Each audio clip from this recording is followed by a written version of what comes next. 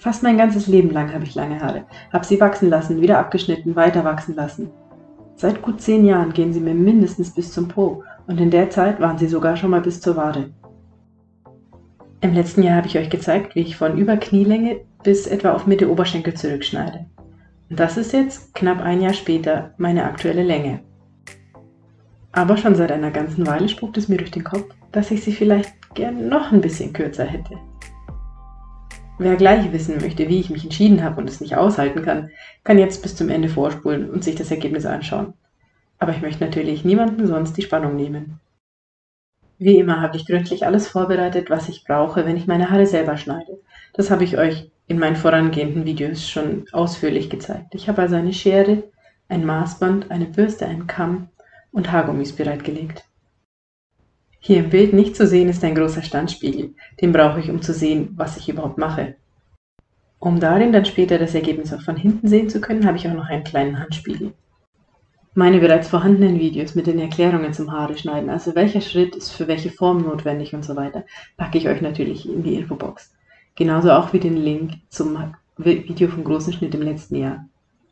Im heutigen Video könnt ihr mir einfach nur zuschauen, wie ich die Schritte nacheinander durchführe.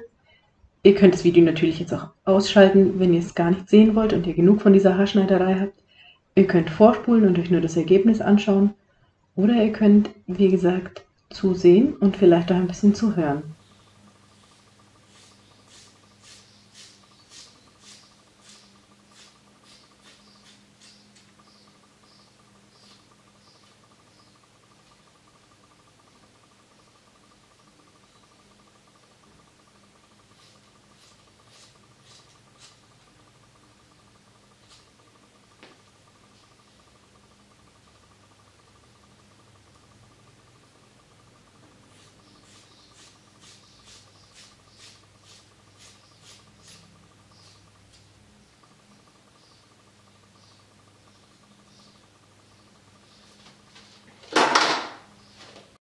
Jetzt ist es soweit. Sie hat es getan und hat die ersten Haare abgeschnitten. Und ja, vielleicht habe ich vorher extra das Fenster zugemacht, damit ihr das Geräusch vom Schneiden gut hören könnt.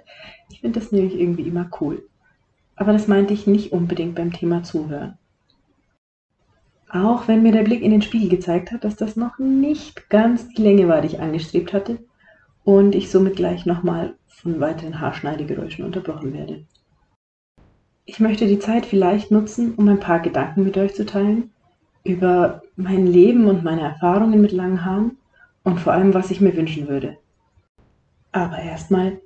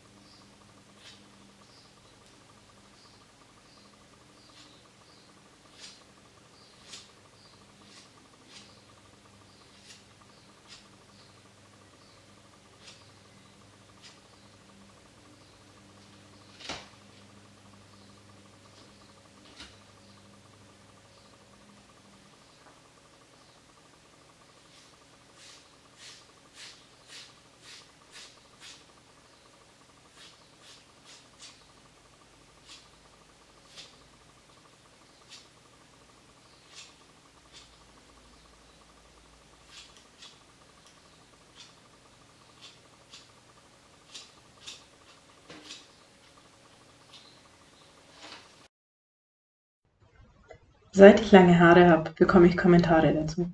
Ich denke, das ist auch irgendwie nachvollziehbar, weil ich weiß, die Länge ist nicht ganz alltäglich. Die meisten Kommentare im echten Leben sind durchwegs freundlich, aber wie ihr sicher alle wisst, gibt es im Internet einige Leute, die dann einfach auch mal ihre Grenzen vergessen. Leute, die dann sagen, lange Haare sind total eklig und ungepflegt. Wobei sich das ein bisschen widerspricht, denn so einfach kriegt man ja keine langen Haare, man muss sie schon gut pflegen. Aha damit sie gesund und lang werden.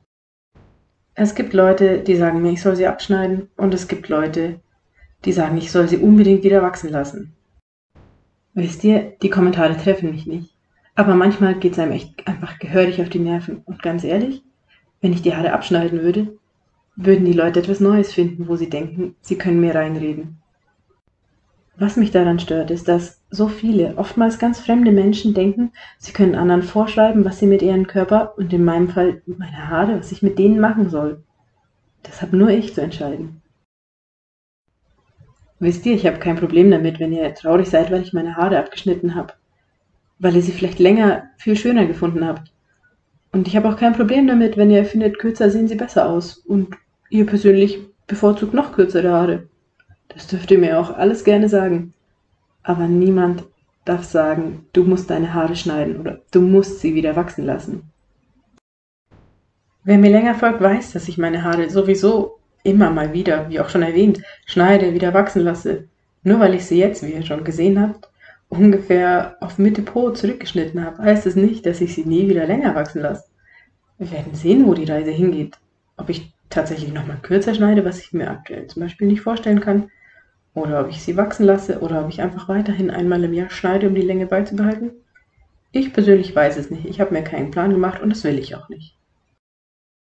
Natürlich freue ich mich weiterhin über Feedback, Kommentare und ernst gemeinte sachliche Kritik oder irgendwelche Vorschläge, was ihr euch vorstellen könntet, wo es hingeht. Aber der Ton macht die Musik und Befehlston kann ich gar nicht leiden.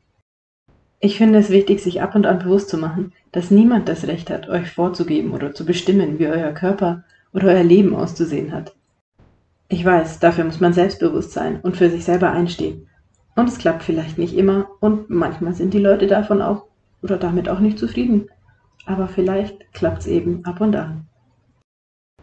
Andersrum dränge ich ja auch niemanden meine Ansichten und meinen Lebensweg auf.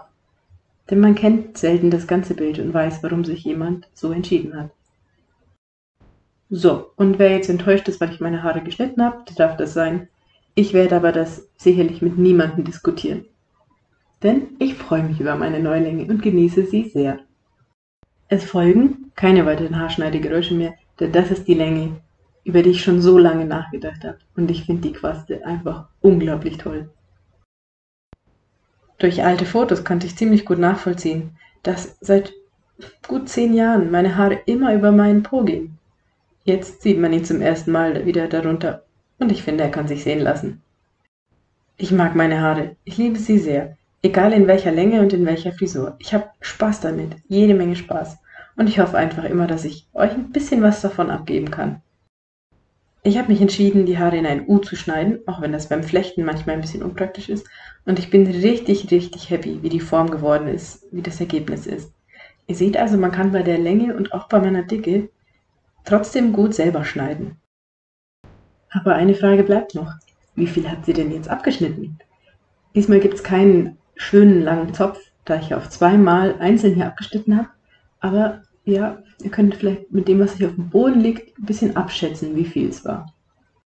In Zahlen bedeutet das, ich habe von 127 cm auf 104 cm zurückgeschnitten. Macht ungefähr 23 cm.